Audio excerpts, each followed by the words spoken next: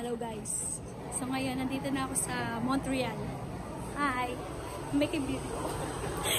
Say hi! So mag-vlog ako mamaya. Mag-vlog. So I'm here already in Montreal. So actually they have snowstorm inside if you can see. So I'll see you later guys. Uh, pupunta ako ng Notre Dame. Kasi kinasal si Celine Dion. So see you later. Bye! Snow pa more. Snow pa. Dito pa sila dito. Apo po. Tama. Snow, oh, snow. Mula ng snow. Pupunta ako ng Notre Dame eh. Notre Dame, Mon- Montreal.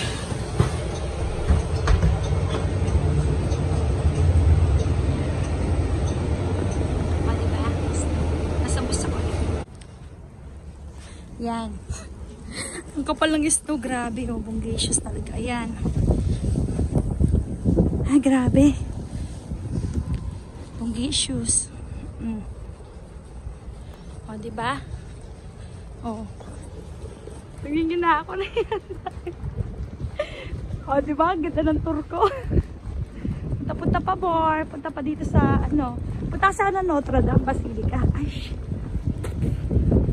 Ba yan? Mula ng snow. Gumula ng snow. Ganito daw po pala yan.